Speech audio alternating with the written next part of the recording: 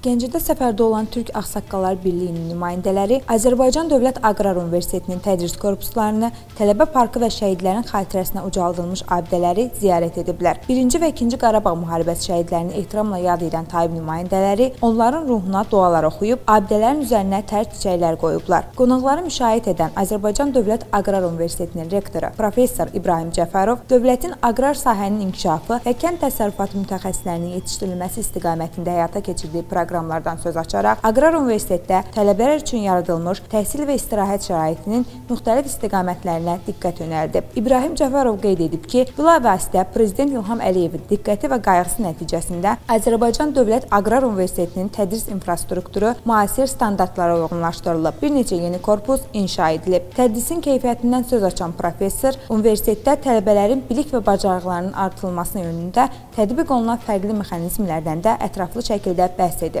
Taibin nümayəndə heyətinin üzvləri də öz növbələrində ali təhsil ocağında tələbələr üçün yaradılmış şəraitdən məmnun qaldıqlarını bildirib və aqrar sahə üzrə yüksək səviyyəli mütəxəssislərin yetişdirilməsinin ölkəmizin təminatlı gələcəyi üçün əhəmiyyətindən danışıblar. Xatırladaq ki, ötən gün Gəncə şəhərində Türk Ağsaqqalları Birliyi və Azərbaycan Dövlət Aqrar Universitetinin birgə təşkilatçılığı ilə 28 may Müstəqillik günü ilə bağlı konfrans təşkil olunub. Qeyd edək ki, Türk Ağsaqqallar Birliyinin nümayəndə heyətinə Taib sədri Yeni Azərbaycan Azərbaycan Partiyası Veteranlar Şurasının üzvü akademik Sudeyv İmamverdiyev rəhbərlik edir. Aytat Şahin, Hüseyn Babayev, Heydər Həsənli, Missiya TV.